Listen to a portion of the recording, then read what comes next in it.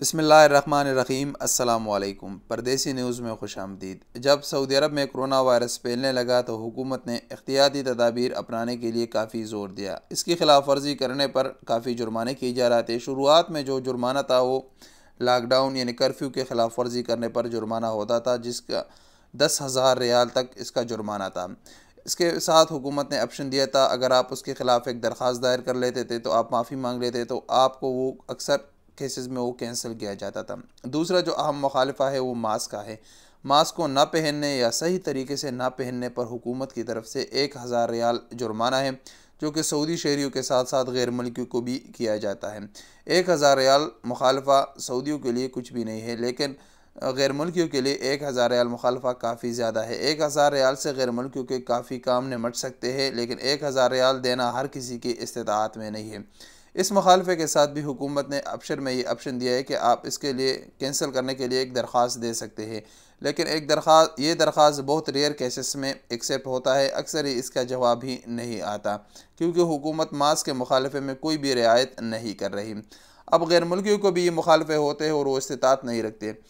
اور اس میں سے کافی لوگوں کے اقامے بھی ایکسپائر ہو رہے ہیں اور کافی لوگوں کے چھٹی بھی جانا چاہتے ہیں۔ ان کے پاس، ان کے ساتھ یہ ٹینشن ہے کہ یہ ہمیں کب ادا کرنا پڑے گا؟ کیا یہ مخالفہ ڈبل ہوگا؟ کیا ہم اس کے ادا کیے بغیر چھٹی جا سکتے ہیں؟ یا اس کے ادا کیے بغیر ہمارا اقامہ رینیو ہو سکتا ہے؟ تو الحمدللہ یہ خوشی کی خبر ہے۔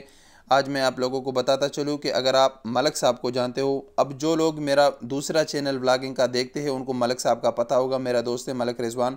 اس کو بھی آج سے تقریباً دو مہینے پہلے مخالفہ ہوا تھا۔ جو پچھلے ولاگ میں میں نے یہ بات کہی بھی تھی، اگر آپ نے ابھی تک وہ چینل سبسکرائب نہیں کیا تو ساجد علی یوسف زئی چینل ہے میرا، اس کو آپ سبسکرائب کریں، ضرور وزٹ کریں، آپ کو وہاں سے پتہ چل جائے گا۔ تو تقریباً دو تین مہینے پہلے اس کو مخالفہ ہوا تھا ماسک کا۔ اس کے لیے میں نے اپلیکیشن بھی دائر کیا تھا، لیکن اس کا ابھی تک کوئی بھی جواب نہیں آ رہا۔ پھر تیرہ فروری کو اس کا اقامہ ایکسپائر ہو رہا تھا۔ تو ہم سوچ رہے تھے کہ اس کا اقامہ جب ایکسپائر ہو رہا ہے تو یہ پہلے مخالفہ ادا کرنا پڑے گا۔ لیکن اس کا اقامہ بھی رینیو ہو گیا، مخالفہ ادا کیے بغیر۔ پھر اس نے جانا تھا چھٹی۔ پھر ہم سوچ رہے تھے کہ اس کا چھٹی لگے گا تو مخالفہ ادا کرنا پڑے گا، لیکن مخالفہ ادا کیے بغیر اس کی چھٹی بھی لگ گئی۔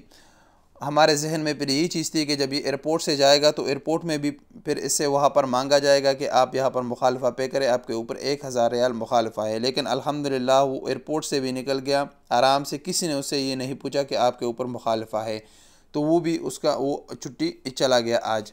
اور الحمدللہ اس کا مخالفہ ڈبل بھی نہیں ہوا۔ تو یہ ان تمام لوگوں کے لیے اچھی خبر ہے، جو اس ایک مخالفے کا استطاعت نہیں رکھتے۔ تو ابھی آپ اس کو موجودہ ٹائم میں پوسٹ پون کر سکتے ہیں، ڈیلے کر سکتے ہیں۔ آپ کا اگر اقامہ ایکسپائر ہو رہا ہے تو وہ مخالفہ ادا کیے بغیر رینیو ہو سکتا ہے۔